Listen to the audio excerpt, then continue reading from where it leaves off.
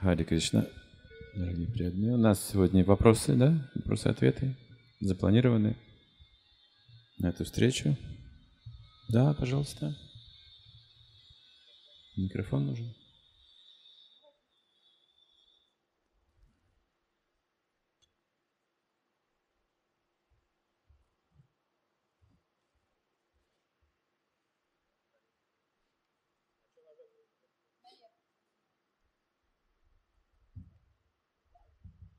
Хари Кришна Гуру Махарадж, примите мои поклоны. Спасибо за такие встречи, которые организуются, и есть возможность лично вам задать вопрос. Вот я хотел бы сегодня задать два вопроса. Первый вопрос у меня такой, то есть вот мы в материальной жизни живем, и у нас всегда есть, ну, у меня лично, по крайней мере, такая концепция, что развитие, оно бесконечно. От низших форм жизни до средних миров, райские планеты, там, вплоть до Брахмы. А когда э, мы говорим о духовном мире, душа Сачитананда, она полна всего знания, блаженства, причем блаженство в духовном мире увеличивается каждый раз. И такое ощущение складывается, что там душа уже ну, не развивается, она вот есть как бы совершенная, и все, и это потолок, дальше нет. Э, я правильно это понимаю или ну, это неправильный взгляд на духовный мир? И второй вопрос у меня по поводу истории с Харидасом Такуром, младших читаний Чаритамриты я тоже, когда читал, я ну, как бы почувствовал, внутри есть противоречие определенное. То есть мне показалось как-то очень жестоко, Господь Чайтани, воплощение милости, поступил с ним. Это привело вот, это в тему вчерашнего разговора о самоубийствах, тяжелая тема, которую мы затронули. И ну, Харидас Такур как бы э, совершил, младший Харидас Такур, самоубийство. И ну, после он даже на Киртана смог приходить в тонком теле. И получается, какой пример мы можем из этого извлечь? Э, что в каких-то случаях это оправдано или это не наш уровень, вот это я как для себя не смог э, вот эту лилу уложить, понять ее правильно, потому что внешне как-то показалось очень все жестко со стороны Господа читания. И как-то вот... Причем я вспомнил такую историю, э, читал в книге «Святый Искон», Вишнуджан с вами, был такой ученик у Шрила Праупады, он Киртан очень хорошо пел, и вот мне, насколько я помню, если ошибаюсь, поправьте, он как раз тоже совершил какой-то проступок и потом исчез. И преданные говорили, что он как раз по примеру Харидаса младшего поступил, там что больше никто никогда не видел. Все, спасибо.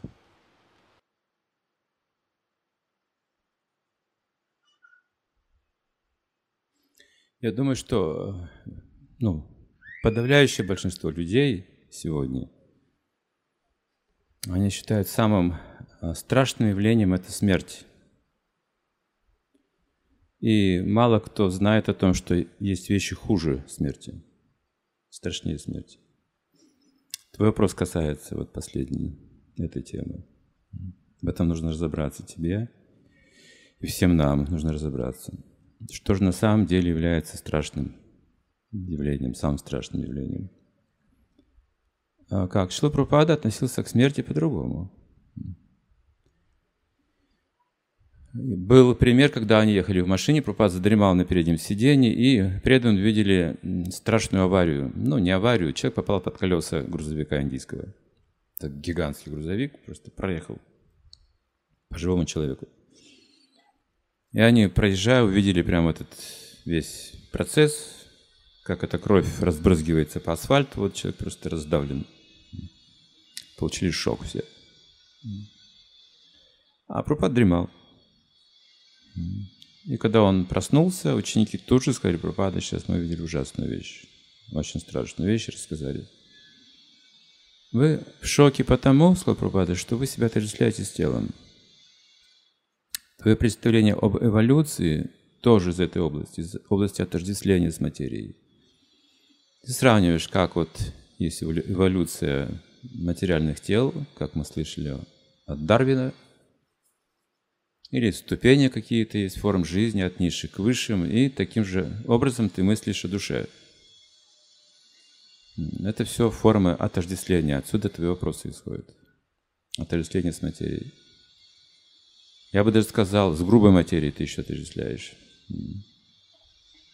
Отсюда эти вопросы. Значит, прежде чем приступить к решению этих вопросов, нужно осмыслить разницу между материей и духом.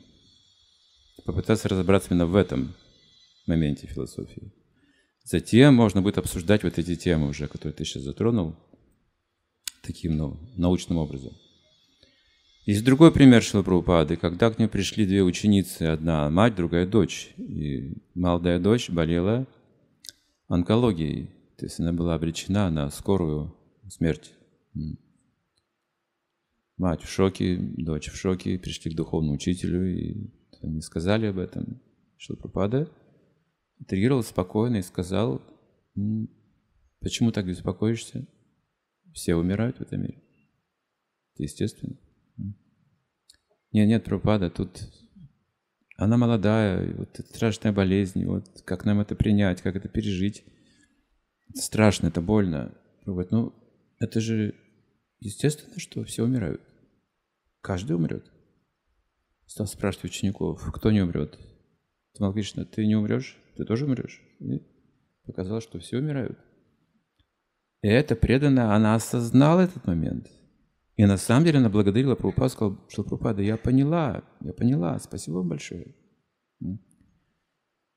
Когда Шила Прабхупада уходил, он тоже говорил, «А, ничего нет страшного в смерти, это естественный закон природы, он говорил. Не беспокойтесь об этом. Каждый в свое время должен уйти из этого мира. Но что же все-таки страшнее смерти, как вы думаете? Что хуже смерти? Да, не исполнить свой долг. Если кто-то меняет свой долг на продление жизни, он теряет душу. Если кто-то пытается выжить за счет жизни другого человека, он теряет душу. Каждый хочет выжить любой ценой в этом мире. Это написано в беседе с, с мудрецом Дадичи, да, индры, полубоги обращаются к нему за помощью, что мы боимся смерти, мы обычные слабые полубоги, мы обычные обусловленные живые существа, и никто не хочет расставаться с телом, ни муравей, никто, хотя Вишну дарует нам эти тела, если сам Господь Вишну попросит это тело обратно, никто не согласится, никто никогда на это не пойдет.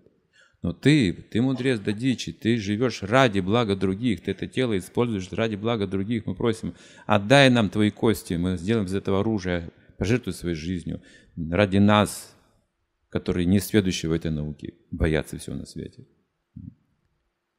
То есть за этими вопросами есть как бы страх также кроется. Пока есть отождествление с телом, вот этот страх навевает все эти темы. Как же так? Это же ужасно, это же ужасно. Я помню, как мы спрашивали одного из духовных учителей, когда яхта Хари Кришна, известная и знаменитая еще с 80-х э, годов, путешествовала, на парусе была Хари Кришна, Санкиртана, они книги распространяли, Харинам проводили по островам Средиземноморья. На журнале Back to God была эта фотография красивая, и описание, и все вдохновлялся весь скон, что у нас есть вот такая яхта, которая проповедует по всему Средиземному морю. И какой они интересный способ романтически нашли, да, это путешествие, это Санкиртана, это распространение знаний. Все спрашивали, как там эта яхта, можно ли попасть в эту группу тоже, распространять книги, воспевать, ездить по островам, почувствовать как бы себя парамахамсой таким, да, вот проповедником, странствующим. И в один день эта яхта разбилась, и все погибли. Это ее судьба. Яхта Хари Кришны разбилась. Все погибли, кто там. Естественно, в Исконе молодые преданные получили шок. Как же Кришна? Он не защищает своих преданных, он вроде говорит в Бхагавадгите «Ахам твам сарвапапья Но мы это понимали по-своему, конечно же, эту шлоку «Ахам твам сарвапапья Я защищу тебя от всех грехов, хорошо. Значит ли это, что преданный никогда не оставит тело? А что тогда это означает? И мы задали вопрос одному из духовных учителей Дикша Гуру. Он сказал, представьте, что вы идете в подземном переходе ночью. Ночью. Уже страшно. Из угла бандит с пистолетом на вас. К вашему биску пуль, дуло представляет – чем, говорит, опасность ситуации? В том, что вы забыли Кришну. Вот, говорит, в чем настоящая опасность. Вот что страшнее смерти. А рождение и смерть – это противоречит душе, естественно, да, но это обычный закон природы.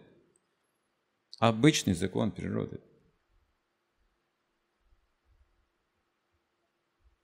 Почему вы думаете, что это какая-то очень плохая вещь?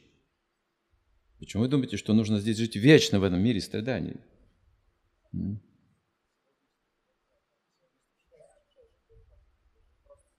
Ты сейчас споришь со мной? Ты не понял даже ответа. Ты не слушал вообще меня. Ты думал о своем вопросе. Ты не слышал ничего.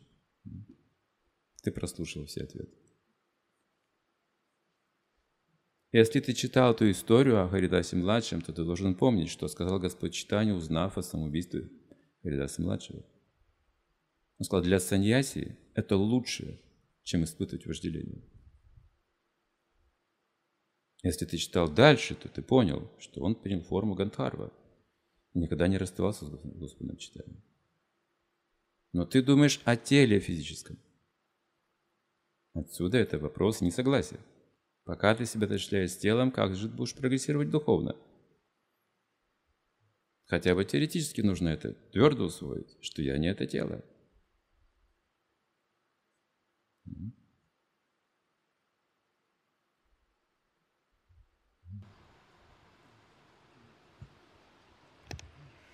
Хари Кришна, Гуру Махарадж, спасибо большое за то, что нам уделяете время. Вопрос по внутренним усилиям до момента смерти мы постоянно их совершаем, преодолеваем трудности. Я видел людей, для которых смысл жизни преодолевать трудности. А вот в духовном мире, когда мы попадаем, получается, их не будет. То есть не будет ли нам как бы скучно? Я знаю, Такой же аналогичный вопрос. А по знаниям, мы говорим, там будем у нас вечное а, знание. Получается, нам учиться уже не надо будет. То есть... Аналогичный вопрос. Та же проблема. Вы себя отождествляете с телом. Если вы себя не отождествляли с телом, вы просто приняли то, что написано в шастрах. Душа Сачитананда Виграха. Не рождается, не умирает. У нее есть вечная обитель, где она танцует с Кришной, играет с Кришной. Ты просто бы это принял в сердце, и все было бы понятно. Физическое знание, пока ты не примешь, ты не познаешь. Как вкус меда, пока ты на язык не положишь, ты не сможешь понять никакими объяснениями. Никакими объяснениями, ничего не поможет. Должен принять то, что написано в шастрах. Нужно верить шастрам. Вы сейчас полагаетесь на свой ум и размышляете, и возникает проблема. Ум – это проблема. Но шастры даются для того, чтобы принять в сердце – чтобы разоблачить ум как раз. Остановить эти вот хитросплетения ума.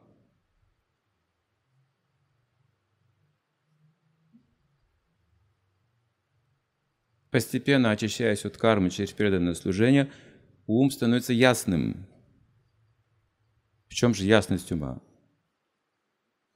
Он начинает слушать Бога, а не себя. Аналогичный вопрос.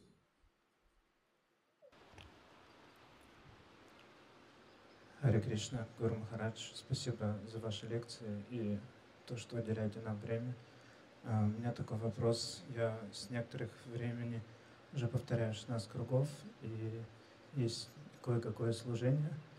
Вот год назад получил посвящение, но тем не менее у меня возникает вопрос, а, как правильно выстраивать отношения с Кришной. Год назад и тем не менее. То есть ты рассчитывал, что за год ты уже выстроишь отношения с Кришной? Ну, в общем, вопрос в том заключается, что я не совсем понимаю, как правильно выстраивать отношения с Кришной. Когда разовьются эти качества, смирение, почтение, терпение и неожидание ничего взамен, да, у тебя будет отношение с Кришной. Сейчас пока у тебя не терпение, уже целый год ты терпишь. Ну, это тоже достойно уважения, что целый год ты практикуешь. Серьезно? Серьезно? А мы можем практиковать без ожидания награды. Кто-то научился этому. Просто служить Кришне и все. Просто пытаться достичь удовольствия и все. Давайте попытаемся хотя бы так сделать.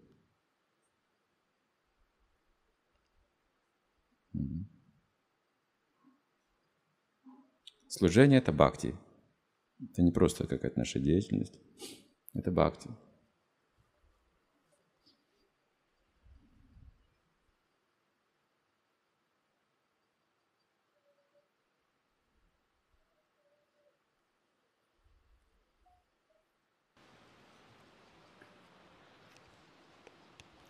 Примите мое почтение, Гуру Махарадж. У меня такой вопрос. Сейчас же у нас идет золотой век, про который говорят. Говорится, если человек добивается определенных результатов, то у него есть шанс его душе попасть на высшие материальные планеты. И это описывается как благость. Но как это может быть благостью, если я, ну, если моя душа будет где-то существовать 2 миллиона лет, я пропущу самое золотое и хорошее время на этой планете. Как это понять? Не пропускай. Сделай выбор. Хороший вопрос. Пропада как раз об этом говорил ученикам, что если вы попадете на высшую планету, то вернетесь сюда к концу Кали-юги. Самое страшное время, поэтому не тратьте время на высшие планеты. Сейчас возвращайтесь к Богу. Он говорил об этом. Но, с другой стороны, он также говорил, он дал э, два, два направления дикши, что описывает в целях Искон, если подробно посмотреть, что через дикшу дать, указать путь к освобождению через дикшу, так? И, или благодаря дикше очиститься и достичь сатва гуна. Хотя бы это, не пойти в ад. Он в одной лекции так говорил людям. Хотя бы не пойдите в ад. Если даже вы не достигаете трансцендентной платформы, хотя бы в ад не пойдете, пойдете на какую-то хорошую планету. Тоже это учитывалось. Без идеализации. Но высшая цель – вернуться обратно к Богу. Та же самая дикша может быть, что вернуться к Богу, либо чтобы очиститься достичь сатва гуна. Просто это страшно, если сейчас стремишься к высшему, пытаешься делать, делать, делать, делать и промахнуться. Да, неудача бывает. Можно промахнуться. Это был, был момент, был случай очень давно. Наверное, в 91 году. Одна старая преданная, старше меня, она раньше получила инициацию, она была первой в том регионе. Она умирала от рака. Я навещал ее. И стали тревожиться, потому что она э, стала отказываться от Шимат Бхагаватам, от присутствия преданных, от джапа, от киртана. Она все внимание переключила на лечение. Лечение. Стала забывать о практике. И она верила до конца, что она вылечится. Нетрадиционными методами, там разными. Преданные стали тревожиться, что она вот не пускает преданных, она беспокоится, не хочет киртан. Я написал письмо духовному учителю, его ученице, это был один гуру. Вот она сейчас в таком положении, вот она отказывается от святого имени сейчас. И он отдал ответ быстрый, что она должна слушать теперь святое имя. Это ее обязанность. Сейчас вот к моменту такому серьезному близится к уходу, к концу ее жизни подходит, теперь она должна сосредоточиться на святом имени. Я к ней пришел с этим письмом уже. И мягко с ней поговорил, говорю, вот я посоветовался с духовным учителем, она сразу собралась, э, гуру знает о ней, так, что там? Говорю, гуру хочет, чтобы ты слушала Святое Имя, чтобы преданный пели Киртан, чтобы ты слушала Бхагаватам сейчас. Он говорит, хорошо. Она расслабилась после этого и сказала, ты знаешь, я не хочу в духовный мир. Я, говорит, думала, что я хочу в духовный мир. Но сейчас я понимаю, что у меня нет этих отношений с Кришной, не успел их развить. У меня нет их. Нет этой любви, Нет, это жажда увидеть его. Я спросила, а что вы хотите увидеть? Куда вы хотите? Говорит, я бы хотела жить в Варнашем Адхарме. То есть она не успела развить это. Такие примеры тоже были. И все же это желание выше, чем заниматься греховной деятельностью и идти в ад. Это тоже спасение. Если она с мыслями о Варнашем Адхарме уходит, то она попадет туда, где есть какая-то Варнашем Адхарма, и там она сможет прогрессировать дальше, а Кришне он уже знает. Процесс не прервется так или иначе. То есть дикша – это могущество. Душа представлена Богу. Он не должен потеряться. Мы уже знаем о Кришне, вы уже не потеряетесь, так или иначе. Не просто слышали что-то о Кришне, вы знаете, кто это такой. Пропад нам дал такую твердую веру. Все, вы уже не потеряетесь, так или иначе. Куда бы мы ни направились после оставления тела, мы уже не потеряемся. Но кто-то прямо пойдет, кто-то пойдет немножко, ну, извилистым путем, прогуливаясь по материальной вселенной. Тоже интересно ведь, да, увидеть, как она тут устроена вообще, что такое высшие планеты. Дай-ка заглянул туда. Чистый, преданный – это редкость большая.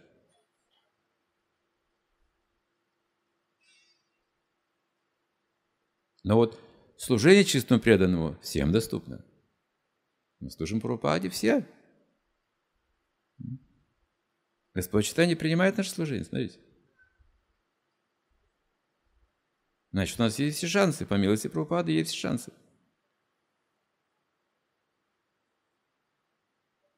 Поэтому давайте сосредоточимся на том, что мы слуги чистого преданного Шила Прабхупады. Мы слуги. Мы не знаем, станем ли мы чистым преданным этой жизни или нет – но мы точно знаем, кто мы, свое место точно знаем. Кришна нам указывает это место служения. Мы слуги Прабхупады. Этого достаточно, чтобы мы не потерялись в этой вселенной.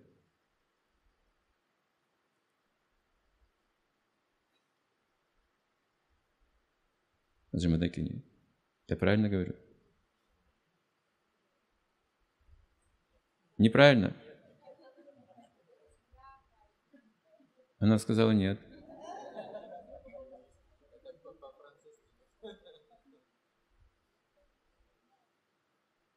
Вы показали так.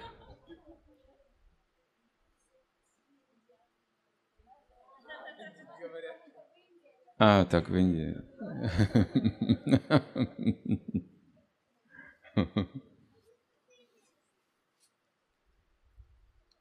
Так, серьезный вопрос у вас у всех. Хорошо, что вы серьезно думаете над писаниями. Да? Ну, у кого будет микрофон?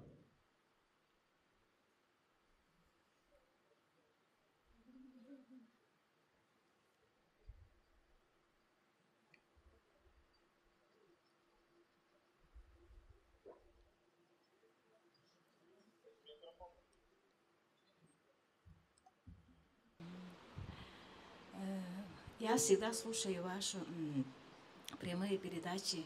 Я очень благодарна. Благодаря вам я настроилась и отважилась приехать одна оттуда.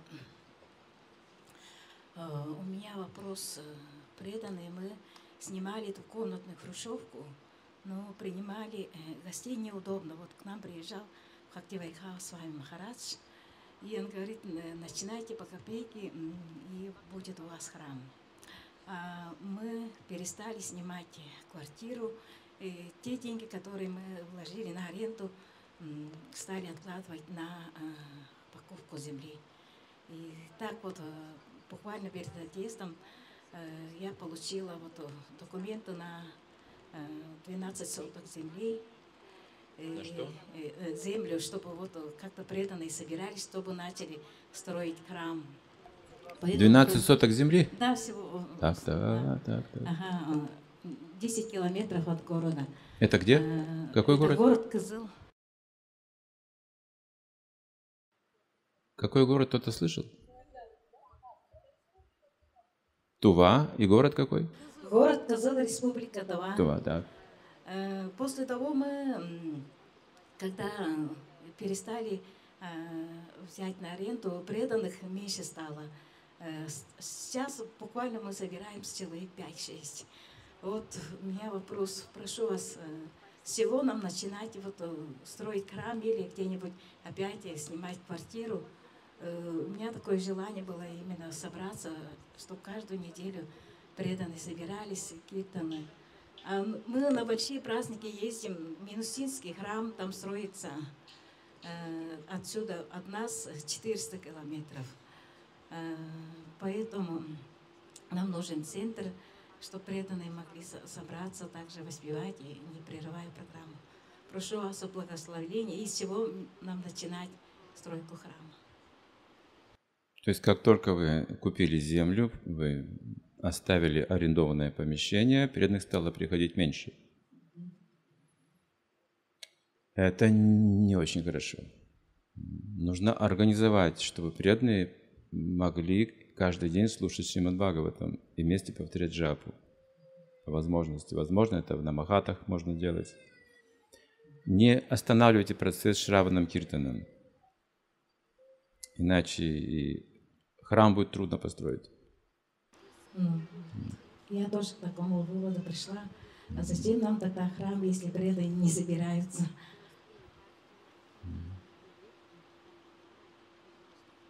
Прошу вашего благословения. Ну, нам, у нас э, э, с, с агентством по делам национальности религии хорошие отношения. Они сами нас приглашают. Нам удалось организовать э, в Центре русской культуры э, вот, вайшнавский концерт – два раза прошлую Гауру Пурниму. Просто преданных нет. А вот сам, вот агентство нам всегда идет навстречу, приглашают, вот, пожалуйста, вам это центр, воспользуйтесь.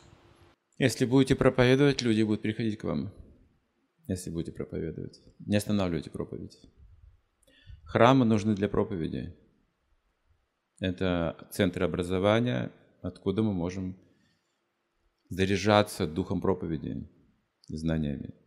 Так храмы видел век Кали. Это центр образования, где изучают Шримад Бхагаватам, священной книги. Это центр проповеди. Спасибо. Хари Кришна, дорогой Гуру Махарадж, примите, пожалуйста, мои поклоны. Спасибо вам большое. А, у меня вопрос э, про ложное эго. Вы вчера на лекции говорили, что с ложным эго нужно обходиться ну, нежно, чтобы оно не страдало и, в общем, как-то продвигаться. А вот что делать, когда оно бунтует? Вот, э, например, э, я приехала в Дхаму, и, у меня э, все, демоны повылезали. Ну, то есть устала, и все начала вылезать изнутри. И теоретически я все понимаю. Начинаю уму проповедовать, говорю, вот там нехорошо, там еще что-то. Э, там надо усилить это э, чувство раздражения, нужно, значит, его направить куда-то. Ну, то есть никакие теоретические аргументы не работают. Вот как забить в, в этот, гвоздь в, в крышку гроба этого ложного эго для того, чтобы оно сразу не умерло там, ну, ну как-то вот ему, как ему проповедовать вот в таких критических случаях, которые не являются нормой. А вот когда вот вылезло ни с того ни с сего, сам удивился, и вот что делать? И вот оно ничего не двигается. Не вижу никаких проблем.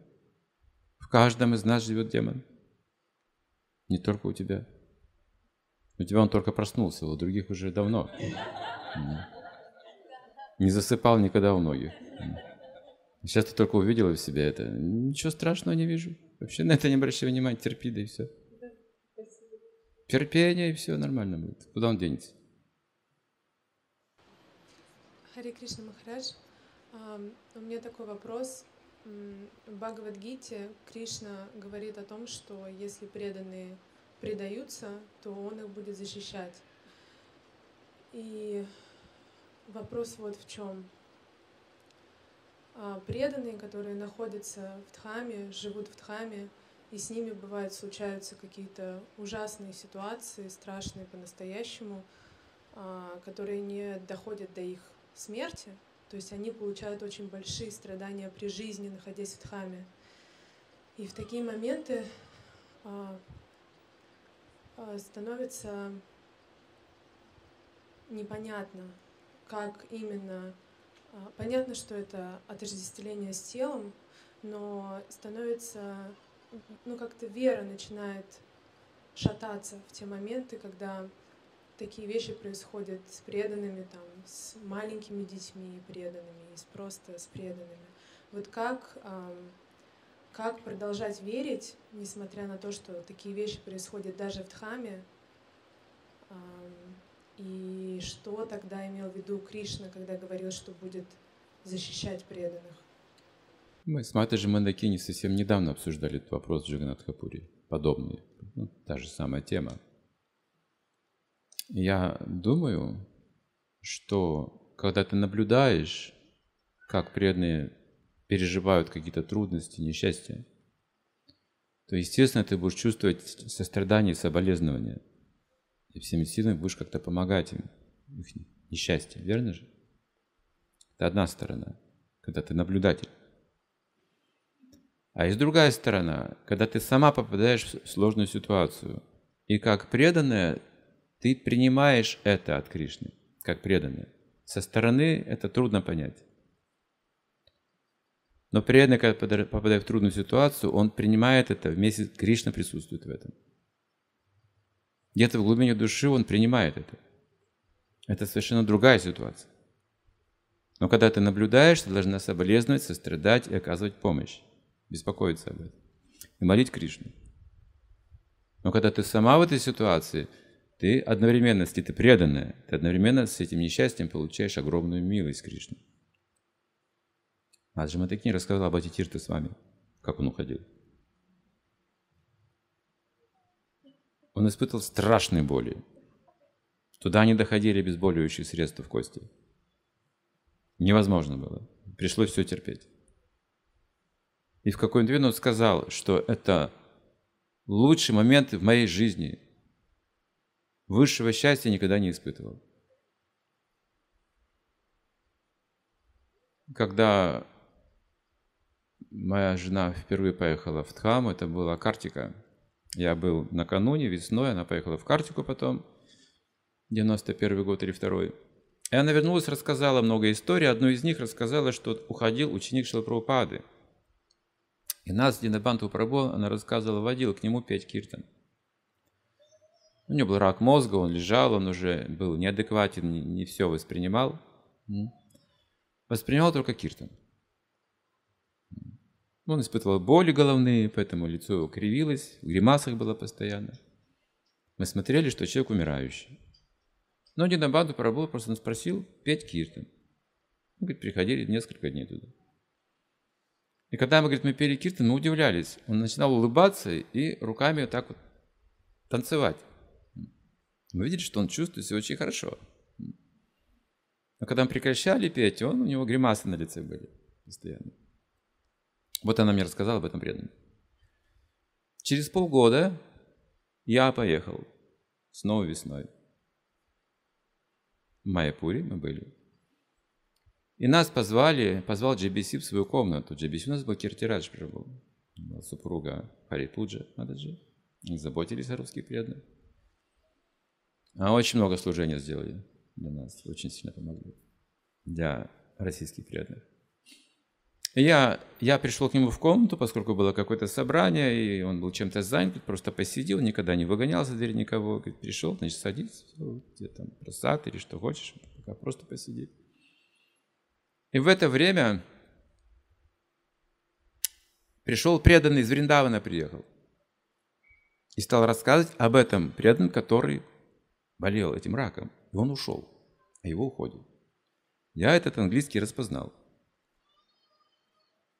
Он подробно рассказал, что он уходил без какого-то ясного сознания. Это был поражен мозг головной, центральная нервная система. Человек не мог видеть, слышать адекватно, у него смешивались какие-то образы, у него были боли. Он слышал киртан только. есть только один день в году, когда человек умирает в этот день в году во Вриндаване, сам Господь Шива ему на ухо кричит «Харе Кришна!» Говорит, оставил тело в этот день. И когда он это рассказал, а Киртираш Прабу знал хорошо этого своего духовного брата, который ушел. Дитираж заплакал, слезы полились и сказал, Прабхупада очень милостив. То есть мы не знаем, конечно, что, это, что происходит с внутренней энергией, когда преданный попадает в несчастье. На моем опыте, когда я пытался помочь каким-то преданным, которые попали в сложную ситуацию, они меня вдохновляли, все было наоборот. Не я их вдохновлял, они меня вдохновляли. Всякий раз, когда приходил. Я испытывал, конечно же, боль за них, какое-то сострадание. С другой стороны, понимал, что ну, каждый пройдет через эти испытания. Любой человек. Но то, что творится у них внутри, когда они начинают говорить, чистое сознание Кришны вообще. Поразительная вещь. Тем не менее, некоторые вещи я не могу объяснить тебе. То, что ты сказал, когда дети могут погибнуть, допустим, преданных, или сразу после инициации авария какая-то, и все погибают, такие случаи тоже есть. Я не могу все объяснить. Я знаю, что Кришна управляет этим процессом. Это я знаю. За преданных тоже надо переживать. Я, я тоже переживаю, как и ты. Меня тоже есть претензии к Кришне, могу. Как только я увижу, я спрошу его об этом. Скажу, как же так, Кришна, за что, почему? Ну это же преданные. У меня тоже есть вопрос. И также есть какой-то опыт. Одно могу сказать, дорогие преданные. Когда вы попадаете в сложную ситуацию, предайтесь Богу, и все. Никого не обвиняйте. И никаких вопросов других. Когда кто-то попадает, сострадайте, молитесь Кришне. Это я знаю, это я могу понять. Но все объяснить я не могу. Жамадаки не скажете что-нибудь? Болезненная тема?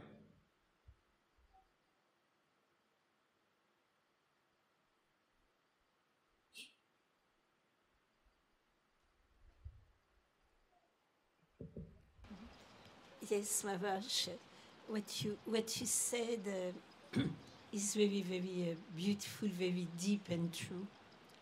А, Да, Махарадж, все, что вы сейчас сказали, это действительно так и есть, это очень э, глубокое видение.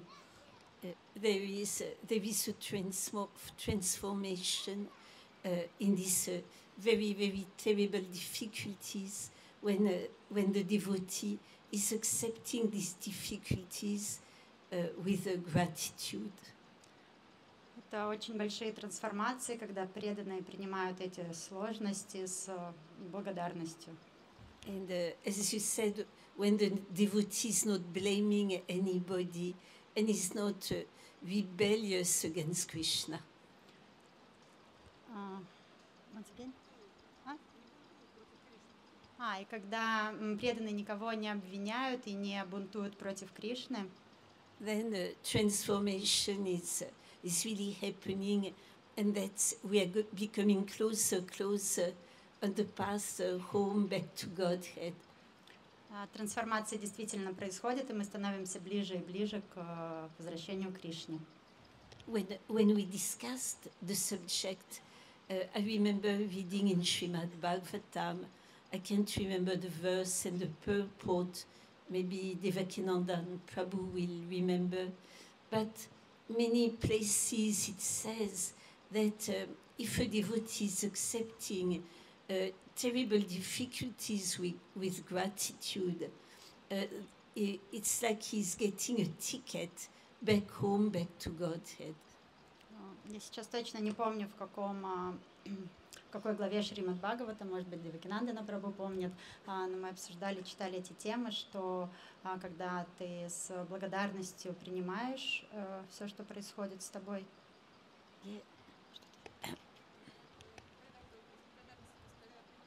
А, у тебя билет. Да, когда ты с благодарностью принимаешь все, все трудности, которые с тобой происходят, ты получаешь э, обратный билет э, домой. The, the Lord becomes very grateful to see that the devotee, uh, despite all the difficulty, s- keeps his faith and uh, hope. Э, Гос- э, Господь. Го-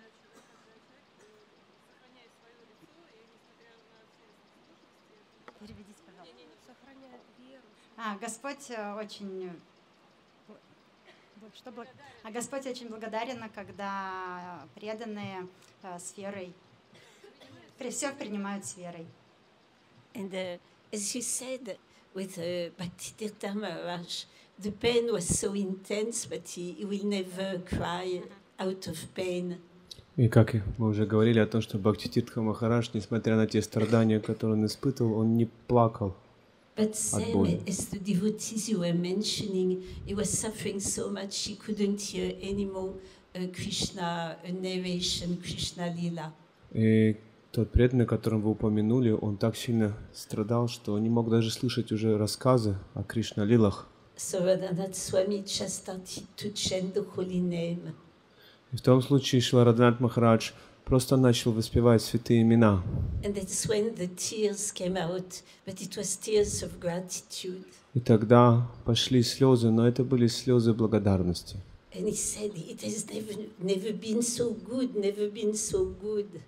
И он сказал, мне никогда не было так хорошо, никогда не было так хорошо. I will not exchange my place to anyone's place in the world. И я бы не поменял сейчас то положение, в котором я нахожусь, ни на какое другое положение в этом мире. So it seems that if we come to that state to accept, we just experience such a strong relationship with Krishna. И похоже, что когда мы попадаем в такие сложные ситуации и мы их принимаем, то это помогает нам усилить нашу связь с Кришной. But from outside, it seems very hard to understand. Но со стороны это выглядит... Это очень сложно понять. But a lot of examples like that.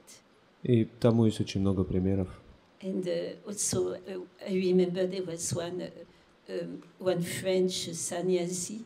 Я помню одного саньяси француза. Uh, he, he actually uh, came down of his platform and he went into very sinful life. И он пал с уровня саньясы и стал жить достаточно очень греховной жизнью. И после долгой болезни он умирал, был в коме, unconscious. без сознания. But all of a sudden, the doctors were very surprised. He sat, he sat up Но вдруг, на удивление докторов, он сел and he said, Srila Prabhupada, you have come. и стал говорить, Шила Прабхупада, ты пришел. So it's very hopeful. Uh, uh, we we can have hope that uh, the spiritual master will be with us in на- difficult time. и у нас всегда должна оставаться эта надежда, что духовный учитель придет за нами в сложные времена. And although it seems uh, so terrible, we see so many of our dear devotees going through the process of uh, pain, leaving the body. Несмотря на эти ужасные моменты, когда преданные проходят через страшные боли, оставляя тело, Uh, Srila Prabhupada told us, you know, in one moment we will be in the other di- dimension. И Шила Прабхупада сказал, что в какой-то момент мы уже будем с другой стороны. So uh, it's still a lot of hopes about that. Но у нас всегда остается очень много надежд. It's like a journey, an adventure. И это как путешествие, приключение. Uh, like uh, when we take the plane, uh, sometimes it's difficult or, or uh, painful in the plane. Иногда plane, Yeah. иногда мы летим в самолете, и бывает там сложно и неудобно. But when we reach the holy Dham, everything is all right. Но когда мы прилетаем в Святую Дхамму, мы видим, что все становится хорошо.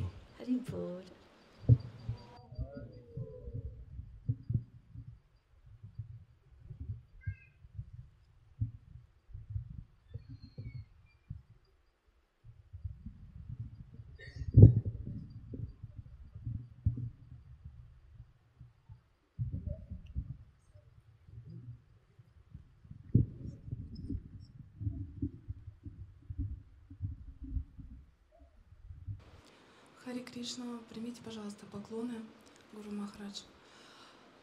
Нам э, старшие на протяжении всего времени, сколько мы, как мы приходим э, в сознание Кришны, дают понимание того, что мы уже всю милость, а, какую только могли, получили от Шрилы Прабхупады. И если мы следуем его наставлениям, если мы а, следуем тому, что говорят старшие, мы уже этой милостью полны. А, приехав в Святую Дхаму, я обнаружила в себе такой момент, что есть настроение охоты за милостью от старших преданных. Ну, например, это может выглядеть так, там, привлекает очень гирлянды, и кажется, что вот если я получу гирлянду от старших преданных, от Гуру Махараджа, то ну вот точно счастливый билет достанется. И э, благодаря этому откровению, которое пришло в сердце, э, я поняла, что я нахожусь на платформе э, потребления, что я э, сколько лет не находилась вот, э, в сознании Кришны, еще не перешла в состояние э, из состояния ребенка, который у него хватательный рефлекс и постоянно желание брать, э, в состояние э, постоянного э, желания служить и старшим в том числе не брать от них, а уже прилагать какие-то свои усилия, чтобы э, помочь старшим э, в их проповеди. Скажите, пожалуйста, как нужно изменить сознание свое, чтобы ушло это состояние брать, а появилось давать? Это последовательный процесс. Последовательный процесс. Шаг за шагом. Например, э, ребенок сначала должен просто принимать то, что дают родители. Его кормят, обеспечивают. Он принимает это с желанием от родителей. Это радует родителей, что ребенок с аппетитом ест, ему нравятся вещи, которые подарки, игрушки, которые родителям приносят. Так они познают друг друга. Познание вкусов, характеров через вот эти отношения родителей, и ребенок принимает что-то, что-то не принимает, что-то принимает. Так они изучают. Это первый этап. Потом второй этап. Ребенок должен учиться. Тут есть элементы служения уже. Должен. Да? Надо не просто принять, не принять, ты должен принять. Тут уже вопрос служения, он уже становится более взрослый. Он изучает под руководством учителей, родителей, уже изучает жизнь, предметы, поведение, этикет, культуру начинает усваивать, от него требуется что-то уже. Затем он должен закончить образование, уже готовиться к самостоятельной жизни, чтобы поддерживать себя и еще служить родителям еще, да? Удвоить как бы это вот наследство рода увеличить это наследство рода, его задача. Все это аналогия, понимаете? И в конце концов, когда он уже становится зрелым, полностью зрелым, он понимает свою ответственность перед отцом, перед матерью, перед предками, перед Богом, получает все наследство окончательно. Таким образом. Поэтому давай, бери как можно больше. С аппетитом давай.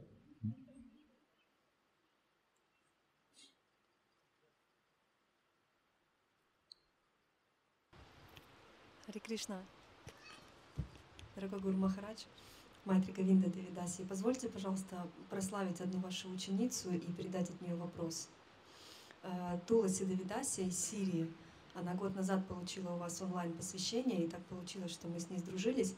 Она одна единственная преданная, там в Сирии она живет в городе Латакия, ее муж не преданный, семья не, ну, как бы не, не преданный.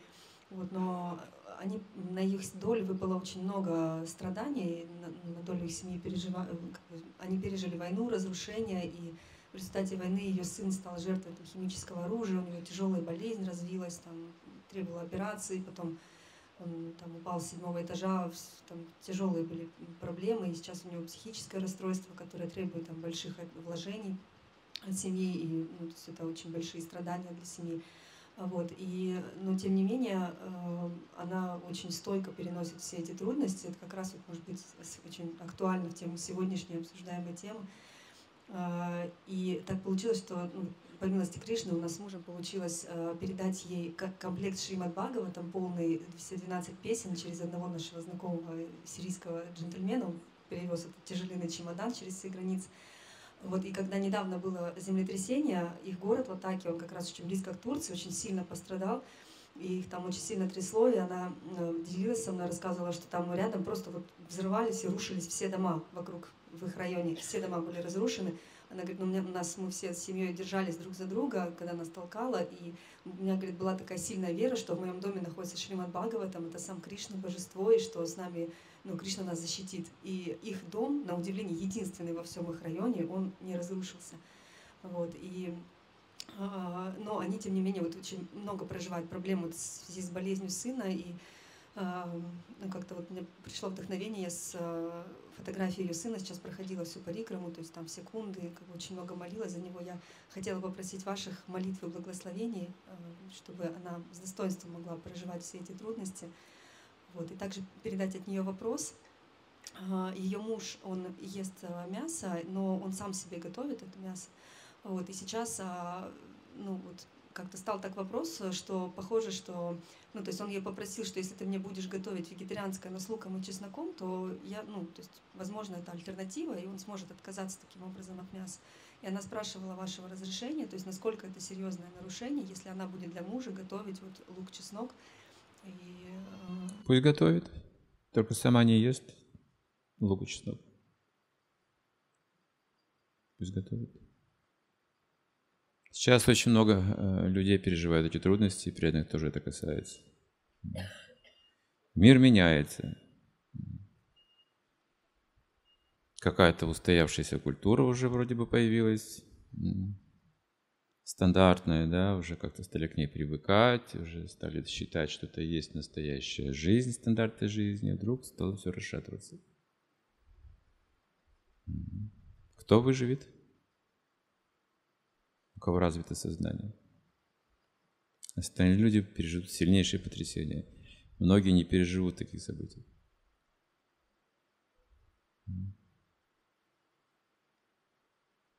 Глубокие стрессы. Если вы в сознании Кришны, вы будете защищены.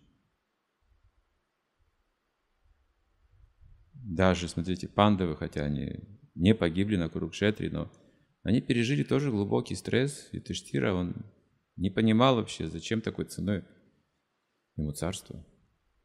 Даже Кришна не мог его успокоить. Его успокоил Пхишмадев. Он ему рассказал о Кришне. Преданным обладает таким могуществом. Нам нужно стать крепкой духовной семьей. И даже на расстоянии, и во времени мы не будем зависеть от этих условий материальных. Как с духовным учителем. Эти отношения вне времени и пространства.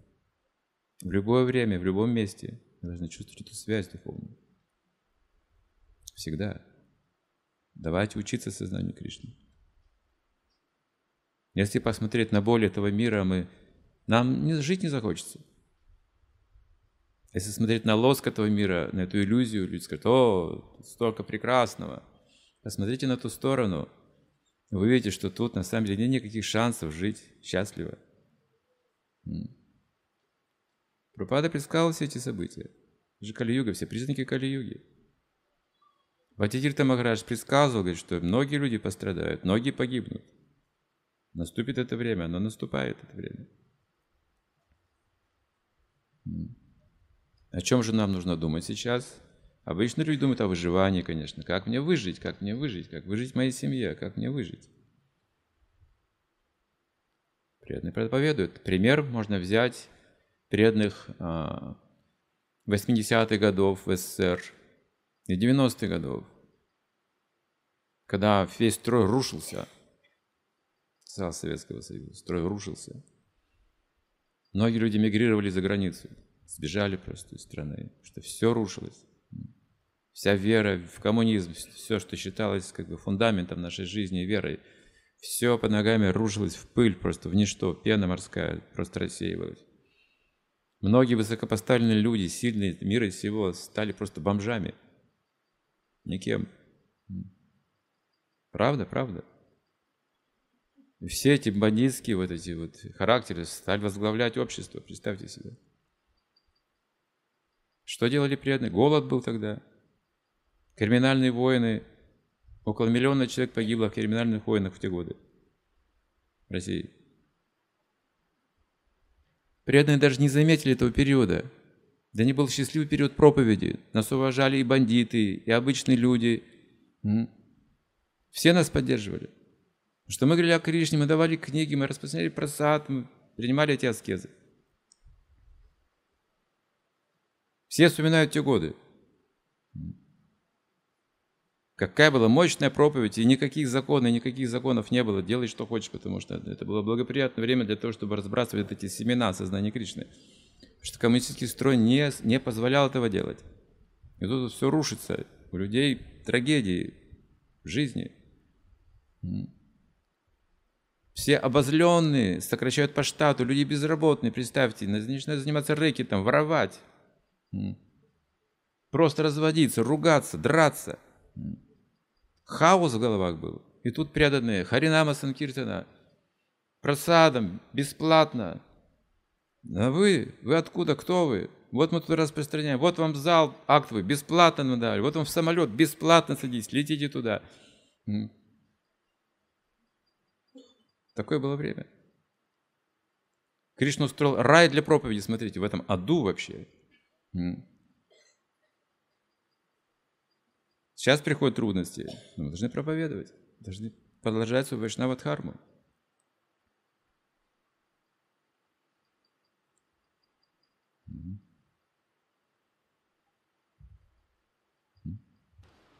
Хари Кришна. Гуру Махарадж Прабхупада говорил, что каждое служение важно, оно способствует проповеди. А, но почему тогда Прабхупада по-особенному радовался результатам Санкиртаны? Почему особенно радовался?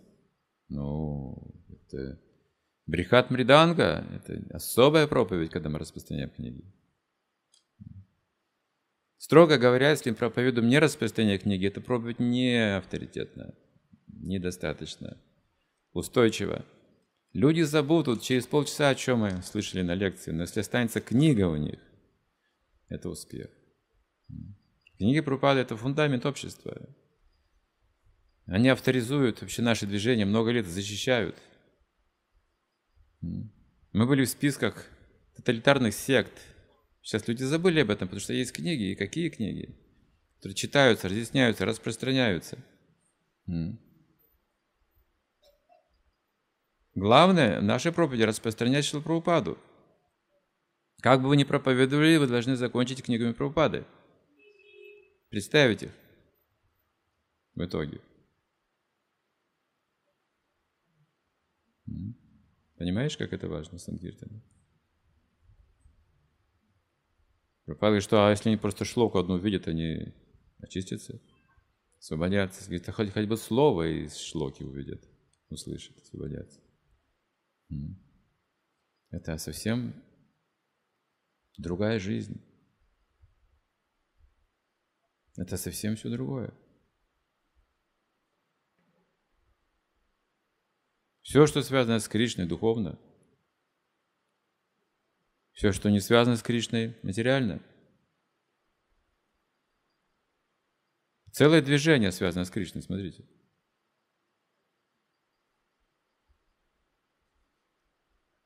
Это должно помочь всем.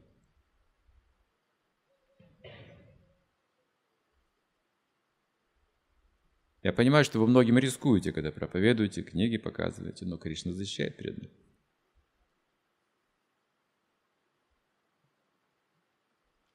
Как-то выжили же первые преданные? А как они выжили? Проанализируйте, посмотрите внимательно, как это вообще возможно было. Это было невозможно с материальной точки зрения.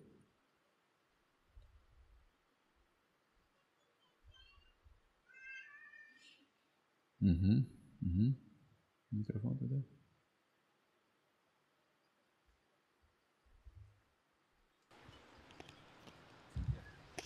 Пожалуйста, примите поклоны. Э, вот, вот такой вопрос о тех преданных, кто уже оставил тело, насколько это благо для них, если их прах погружают ну, в священные воды или каким-то другим способом например, оставляют дома и вот там как-то раз, развеивают? Или это важно для тех, кто это делает, и этот ритуал важен? Когда умрем, мы увидим все это. насколько это благоприятно. Ну да, да, это важно. Ведь, ведь э, душа не умирает, тонкое тело сохраняется, то есть личность сохраняется после остыления грубого тела. Есть масса свидетельств об этом, клиническая смерть, опыт, что личность сохраняется, также описано в Писаниях. Как личность перевоплощается, это непростой процесс, нужна помощь. Помощь живущих, обычно путра помогает, сын или дочь. Тоже путра, путра освобождает от ада, обряды совершает специально. Это тоже, тоже преданные делают. Прах в Гангу или Емуну, умирающему листик туласи на язык или немножко несколько капель рада кунды или ганги. Это делают. Включая запись, махамантры. Это э, достаточно сложный процесс, тонкий процесс перевоплощения. Тонкий процесс. Одна маленькая вещь может изменить все.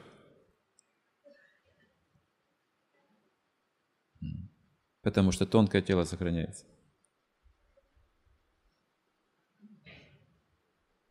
Вот пожар в лесу. Одно дерево загорелось, ветер дует с этой стороны, значит, загорается следующее дерево. Значит, должно загореться третье дерево, верно же? Мы же видим, как это. И вдруг порой ветра, смотрите, пожар переносится на несколько деревьев дальше. Вот, это очень тонкий процесс. Что вспомните момент смерти, это очень сложно.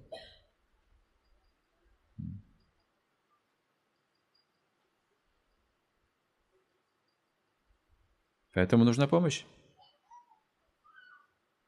А Джамила должен был пойти в ад. Но случилось как раз вот этот вот пример. Вспомнил своего сына, а потом вспомнил Нараяну.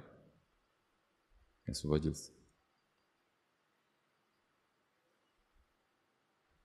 Это же при жизни процедура.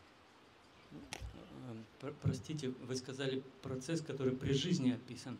Когда мы листик тулуси кладем, а когда уже человек оставил тело и остался только прах. И вот mm. эта процедура, когда мы везем пепел э, mm. в святую Дхаму, мне такое чувство, что это важнее для родственников, как бы поучаствовать в процессе в этом, опустить. Нет, для ушедшей души тоже может быть, если он не ушел к Кришне прямо, то это тоже облегчение сильное. Как я понимаю, когда человек оставляет тело, и в тонком теле он испытывает привязанность к своему даже праху. Я говорю, это тонкий процесс. Я не знаю, все ли я смогу объяснить в этом процессе. Это трудно объяснить. Но такова сила отождествления. Это сила отождествления. Вы умираете, не означает, что вы не привязаны к телу. Привязанность остается к телу. Тело хоронит в могилу, и ваше тонкое тело витает над ней, над этой могилой, потому что привязано к этому телу. Долгое время.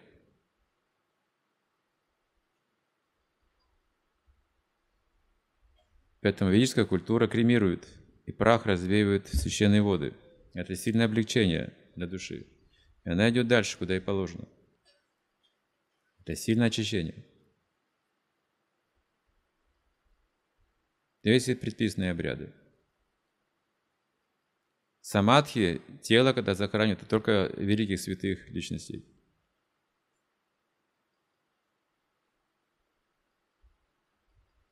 Но я не знаю много на эту тему, я только упомянул, что это тонкий процесс. В любом случае нужно помнить, помнить Кришну и все. Это главное правило. Да, пожалуйста. Угу. У нас сегодня загробные темы. Да, спасибо. Хари Кришна. А меня зовут Ишани Сатявати Девидаси. А я безмерно благодарна вам за возможность сегодня попросить вас обратиться вот за вашей милостью, за благословением, потому что, следуя вашим наставлениям, будучи у вас во Вриндаван парке, а, проповедь э, моя пошла И э, слава Богу, мне получается сейчас. И в данный момент я прошу ваше благословение на открытие Бхакти в Рикше. В мае месяце у нас заканчивается моя Бхакти в Рикше. И э, уже старшие знают, что уже полгода знают, что собираюсь открыть. И вот в мае месяце я должна буду открыть Бхакти в Рикше. Я прошу вас, прошу у вас ваших благословений. Я за, как все остальные. Спасибо. Так, сколько у нас еще рук? У нас еще много рук, да? Ну давайте, если я быстро буду отвечать на вопросы, у нас время истекает. Передавайте микрофон. Харе Кришна, примите мои поклоны. У меня тоже вопрос про проповедь. А что все-таки нужно, чтобы проповедовать? Потому что в сердце есть... Я тебя не вижу. В сердце есть очень горячее желание проповедовать сознание Кришны. Ну, что вот если ты не будешь это делать, если я не буду это делать, то жизнь моя просто зря проходит. И у меня даже есть друзья преданные, да, с которыми мы вместе хотим это делать, но вот какой-то решимости не хватает. Вот что нужно? Или ничего не нужно, нужно просто начать. Ну, ты сама ответила, да. Да, просто начать. Ты уже знаешь ответ, все. Можно ваши благословения, чтобы Может быть, ты ждешь пинка от Майи, я не знаю. Так тоже бывает. Так бывает тоже. Может быть, Майя поможет тебе. В? Но лучше просто делай это. Как приказ Господа читали. Осознавай Кришну, осознавай Кришну.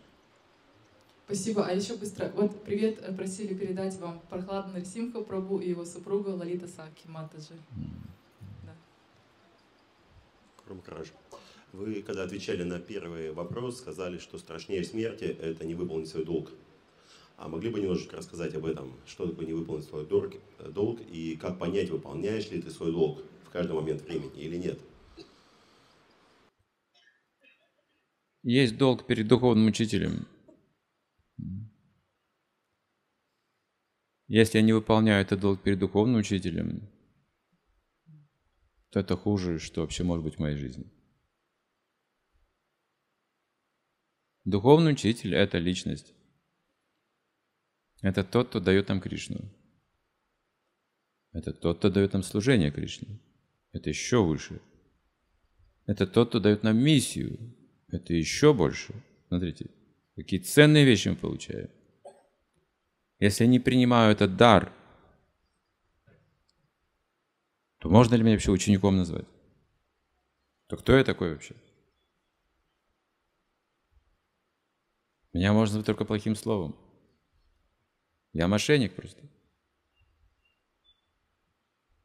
Я принимаю духовного учителя, а миссию не принимаю. Это мошенничество какое-то. У гуру свои дела, у меня свои дела. Мне достаточно инициации и все.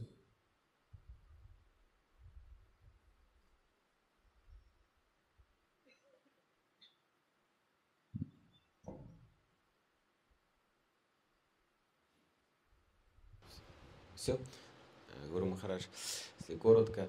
Э, Сейчас мы находимся э, вместе, да, благостно мы собрались, да, со всей России и постсоветского пространства. Но мы вернемся, и там резко отличается общение, как сохранить сознание, да, потому что вот работаю на сталелитейном заводе, ну, общение всякое бывает. Вот один, два, три, как защититься от, от, ну, от в- при общении, а вынужден общаться с разными людьми. Есть какая-то защита, вот прям на пальцах? Спасибо. Не беспокойся сильно. Люди, в принципе, они хорошие. Они, может быть, грубые, там, всякие разные, но в сердце они, ну, как люди, люди как люди. Несчастные, может быть, там прочее. Если у тебя хорошая садана, ты будешь защищен. Следи за саданой своей.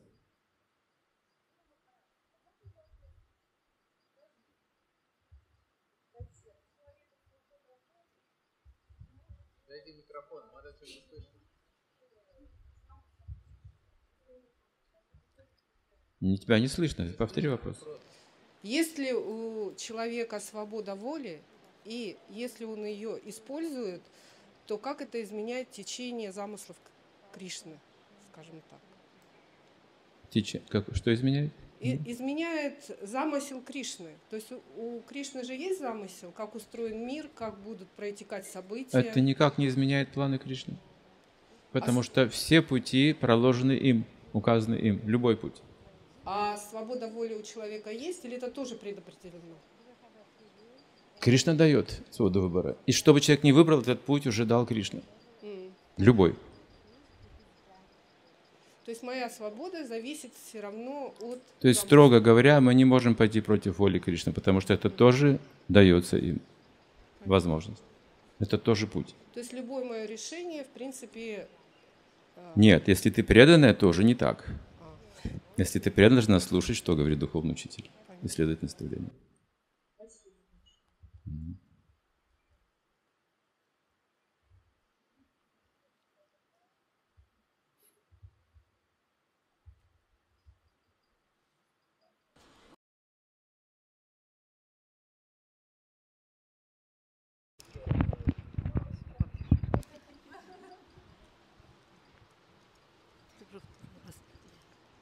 Не кричит? Бл- Благодарю вас за все, и мы все видно, вообще благодарны. И наших, я благодарю всех наших старших преданных, благодарю Амбику, благодарю всех вас. И такой странный вопрос. Мне вообще э, сон приснился, что я из двери выбегаю с покупками. Это два года назад, я еще не была в движении Кришны. И сидит птица Гаруда. И мне говорят, это Гаруда. Я назад побежала, а там огромная змея. Я ее так испугалась. И опять побежала и бросилась в ноги к этой птице. А у нее такие когти, она такая огромная, но красивая. Внизу индусы идут целыми толпами, проходят. Я поднимаю глаза, а у нее ваше лицо. Не знаю. У змеи? Нет, у Гаруды. Ух, слава Богу. У Гаруды. Я. еще больше испугалась, потом нашла в интернете, кто такая Гаруда, кто такой. Потом узнала вас, думаю, ой, ой, ой. Ну и в общем, как-то вот так. Чего только не бывает в снах. О.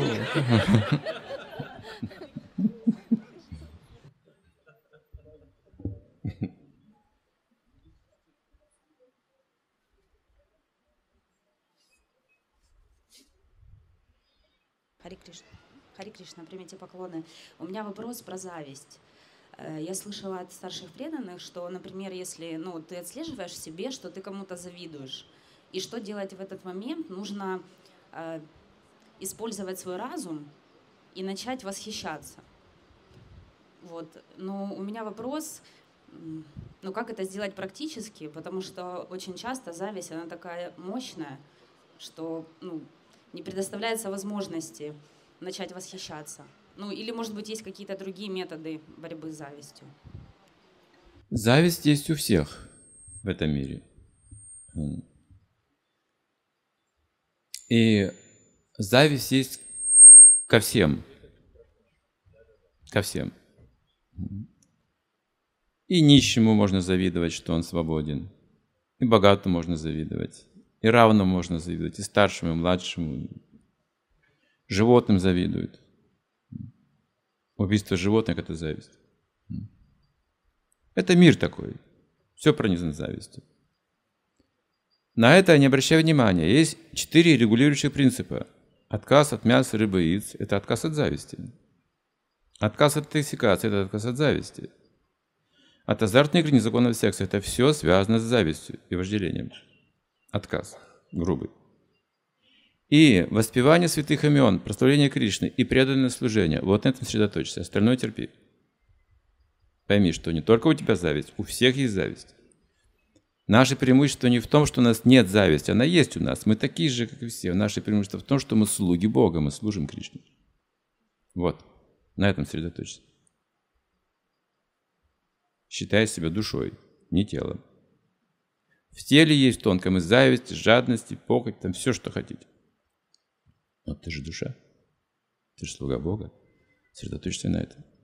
Читая Бхагавадгиту регулярно, повторяя святые имена, служи Вайшнавам, постепенно, постепенно все очистится. Хорошо?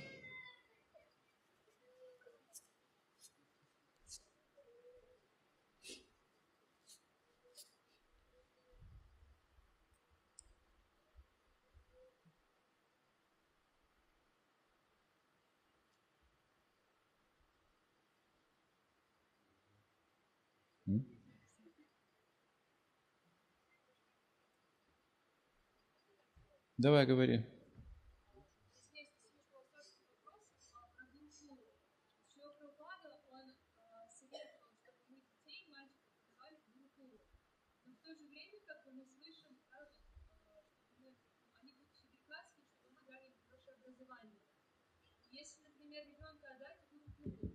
какое-то даже время, чтобы он получил ну, этот опыт уже с детства духовной жизни, вот эти самскары, вот, то, ну, его нужно будет тогда забирать там, в подростковом возрасте, чтобы давать уже ну, светское образование.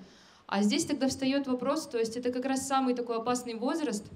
И как вот быть в этой ситуации? Можете подсказать? Я пока не понял вопрос. Ну, то есть, Гурукула, а, хорошо. Хочется отдать так. ребенка в, в Гурукулу, вот. И в то же время вы вот, например, говорили, что сыну надо будет дать хорошее образование, потому что он в будущем грехасха будет. Mm-hmm. Вот. И чтобы дать хорошее образование, это тоже нужно время, и это нужно, ну там, даже если с подросткового возраста, забирать его из Гурукулы. Э, в то же самое время это самый опасный возраст, да, когда у детей как бы, ну, есть разные уже школы. Раньше была только одна гурукула, вот ну, такой классический, да, ведический вариант был. Он очень трудный, не для всех подходит. Потом стали выбирать уже туда детей по гороскопу, которые подходят именно для такой школы. Остальные ходят в школу обычного образования, но в Майяпуре. Плюс, конечно, духовная атмосфера, общение, воспевание. Очень хорошо. Они могут продолжать получать образование. Тогда нам, как родителям, нужно будет полностью уже тоже менять образ, да, как бы. Как родителям нужно, нужно быть внимательным к детям. Очень внимательным.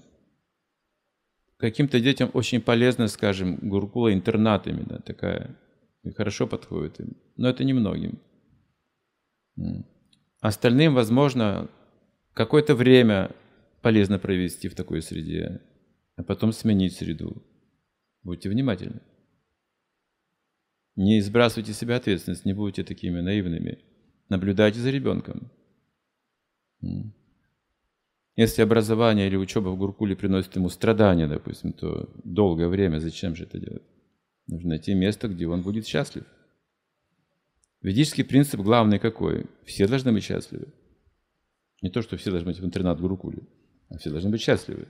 Поэтому есть разные возможности, мы должны внимательно смотреть бережно относиться друг к другу. Также и у нас тоже есть одни стандарты, но все же мы все индивидуальности, мы по-разному чувствуем себя в этих стандартах, и каждый устраивается так, чтобы быть, чувствовать себя хорошо. Слон в воде оказался слабее крокодила. Это не его среда. А на суше слон сильнее, крокодил слабее. Значит, выбирайте там, где вы будете сильно себя чувствовать. Также с ребенком внимательно смотрите чтобы не травмировать его жизнь. Ты должен быть в Гурукуле, ты должен быть в Гурукуле. Иначе ты млечкой станешь. Возможно, были такие методы когда-то, я не знаю, но сейчас вряд ли вы найдете что-то подобное. Это индивидуальный вопрос. Хари Кришна. А, Гурмхараш, вот мы сейчас ходим в разные места паломничества, в храмы, в самадхи, были вчера в доме Бхактивинод Такура. Вот какой опыт мы должны получать в каждом из этих мест, э, на что настраиваться, потому что, ну, мне кажется, сейчас я вот, например, больше как турист, я это все вижу, да, впервые. Какой критерий, что паломничество прошло успешно? Это духовный туризм. Если даже ты не все как бы осознаешь в этих местах, Важно, что ты пришла к Бхактину Такуру, он, у него развитое сознание. Он отметит это. Пришла в йога-пит, посмотрела, какой интересный храм, но Господь читание отметит тебя. Он знает, откуда ты приехала, куда поедешь дальше. Он знает твое состояние, что ты еще не все понимаешь в этом месте. Все знает. Это прямое духовное общение, это не просто какие-то памятники. Это прямое непосредственно сакшат, непосредственное общение с Господом читанием, с Бхактивинода Такуром, с Бхактивинода Сарасвати, Шилпрабхупада. Панчитатва. Прямое. Это дхама.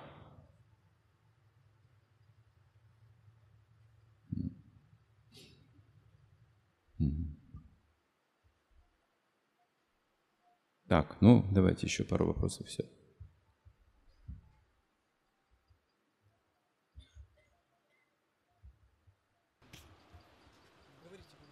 Хари Кришна Гуру Махарадж, спасибо большое за лекции, за ответы.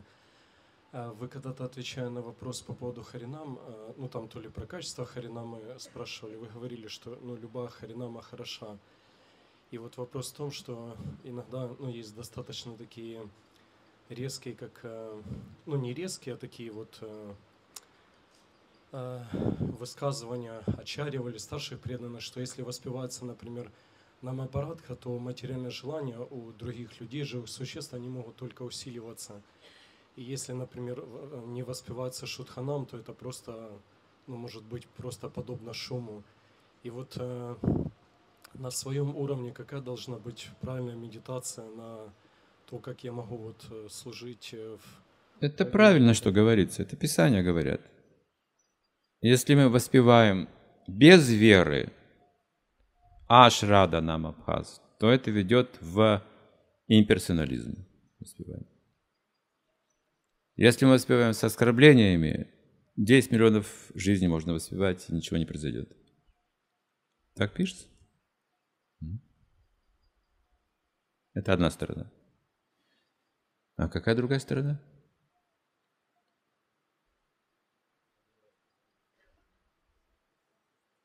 Милость Господа не тебе надо. Не забывай об этом. Мы уже Майвади. Уже. Так на воспевать или не воспевать? Нет. Такую категорию Майвади, как мы, называют невинные Майвади. Мы даже не знаем, что мы Майвади. Мы просто выросли в такой среде и просто подражаем людям, живем как все, усваиваем эту культуру. Но на самом деле мы не хотим этого существования материального. Такие люди получают милость Господа Нитянанды.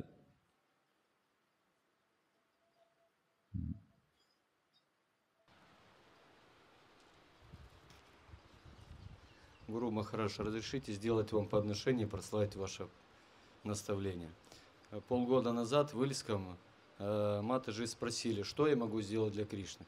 И вы, посмотрев на мою жену, сказали, сделайте ролики и в интернете выкладывайте про Кришну.